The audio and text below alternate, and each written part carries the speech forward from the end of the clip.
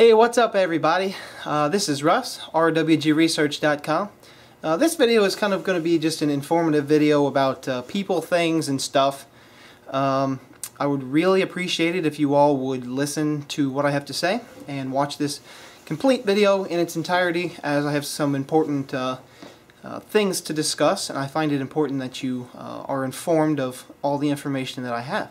So, um, there's been some inter interesting conversations about the, uh, or interesting stuff going on about the VIC coil, uh, the cores, and other people.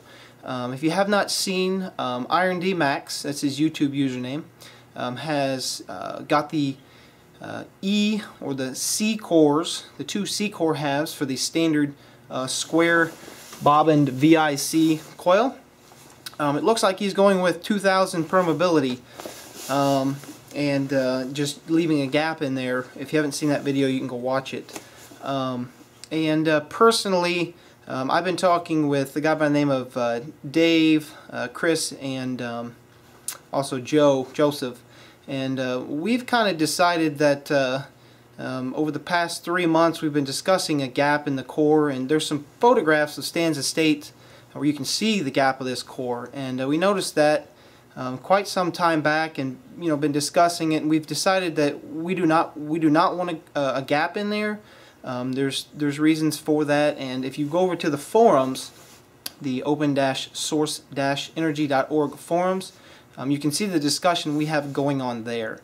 Um, but again we do not believe there's a, a gap in there. Um, that we as in the group of uh, individuals that I've been in collaboration with um, we don't think there's a gap and uh, we're probably going to try the permeability of 1200 um, and see what happens. And I believe they're selling their course for around $100 um, the ones that we'll be getting will be around $105 for um, the set. So price isn't really much of a difference there. Um, so we're going to be trying that out and I'll inform you all, I'll give you full-blown data and information on what I find out with the 1200 perm um, but other than that I just wanted to um, also state that uh, Iron D Max, um, Slade Outlaw, and Pierre Ritter have uh, kind of got this thing going, and um, and a lot of people are kind of wondering, um, you know, why Russ, why haven't you, you know, why aren't you working with them, or or what's the conflict, or, or what's going on there? And uh, personally, um, Pierre Ritter in the past has actually um, donated towards my research, and he's been very supportive. I have never had an issue with Pierre. I really like him. Um, Outlaw, I've never had an issue with. Haven't really talked to him a whole lot. Uh, me and Max kind of get been getting into some word conversations on the um, um, YouTube comment sections. If you guys haven't seen, but uh, all in all, um, you know, honestly, on the way home, I was just thinking, and um, I thought, you know, why is it that we're not working together? What's going on there? What's the problem? And um, I haven't really figured out what the issue is, but I decided about three three weeks ago or so, I decided just not to worry about it just continue doing what I was doing and uh, you know making progress and seeing where it takes me. And I actually think that that's not a bad thing. I think it's a good thing that we're not working together. Um, and the reason is is because they have a theory and they have what they're doing, they have what they're building. And they're going to, you know, if they get it going, I've always said this in the past, whoever gets it going, it doesn't matter, get it going. You know, and they, they, they're releasing stuff to the public. They're doing it in different ways than I am, but hey, that's fine. Um, so um, you know, all in all, basically, I, am I'm glad they're doing what they're doing, um, and uh, you know, there's reasons for things happening, and whatever the reason is that I'm not you know working together with them, so be it. Um, I don't think it's a bad thing. I think it's a good thing. Um, interestingly enough, I think it's a good thing because you have more than one person working on a system we don't really know how the system works. So they have a theory, they're working on their theory, they're doing their thing. You know, all the people I'm working with and um, the individuals are putting some massive amount of time and effort and money into the research. Um, you know, it's a good thing. I think that the way they're doing, the way that the way that's happening. Um, another individual is Tony Woodside. If you have not seen any of his work, uh, his website is globalkast.com. That's global K A S T com. Um, Max, Pierre, and Slade's website is Stanley Meyers Webshop.com, so you can check check their website out. Um, and you know, I, am full blown open source. I do everything in the open, and um, I just I just do it differently than everyone else. And uh, Tony's pretty much open source from what I can tell, um, and and um, the uh, Peer and uh, Slade and Max are open source. They're just doing it differently.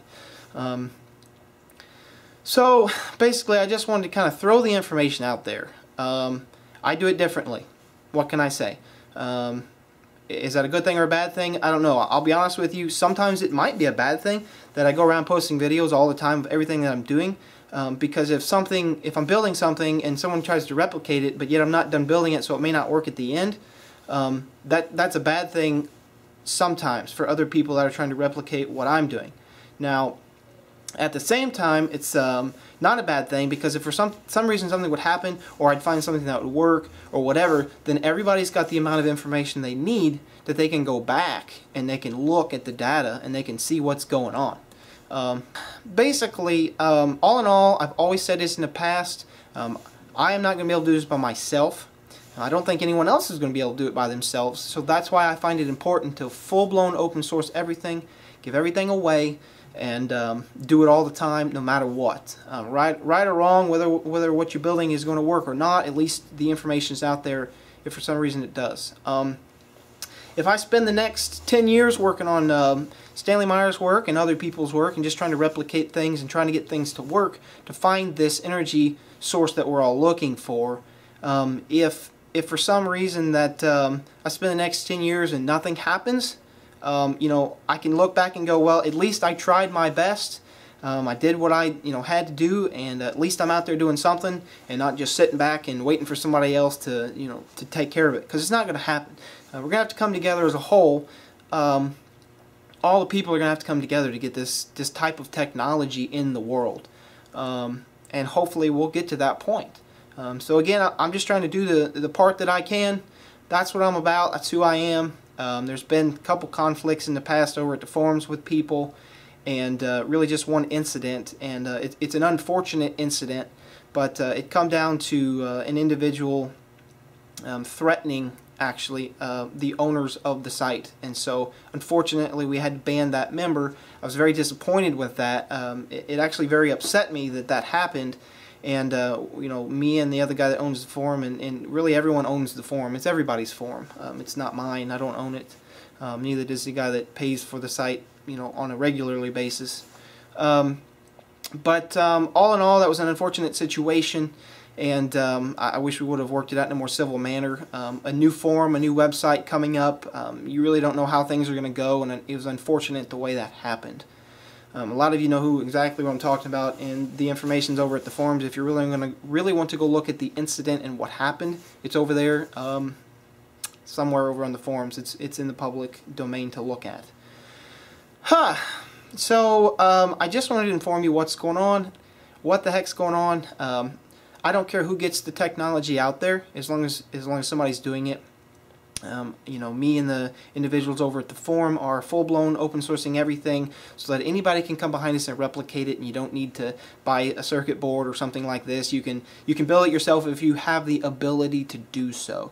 Eventually we'll get to a point where we'll probably make things and sell them, um, but it will be just for full-blown um, open source research type of work. And um, I, I, feel that um, that Max and, and those individuals are doing the same thing their stuff's reasonably priced. So um, I just feel that um, it doesn't matter where the sources come from. If you can get the information out there, that's what matters most. So in my opinion, you know, if I if I purchase some cores and I'm not going to tell you what they're made out of or I'm, I'm not going to tell you where I got them, but you can get them from me if you'd like, you know. Uh, I, I don't care about that situation. I rather say, hey, here's the manufacturer. You know, if you want to go to them and get it, so be it. You can do that. And that's that's the way I feel, and that's gotten me in trouble with other people in the past and how they're doing things that's really what I wanted to say. And uh, this video is not intended to make anyone upset. This video is not meant to make any arguments. Um, I hope everyone takes this video as a legitimate, hey, this is Russ talking to the world type of video. It's what I do every time I make a video.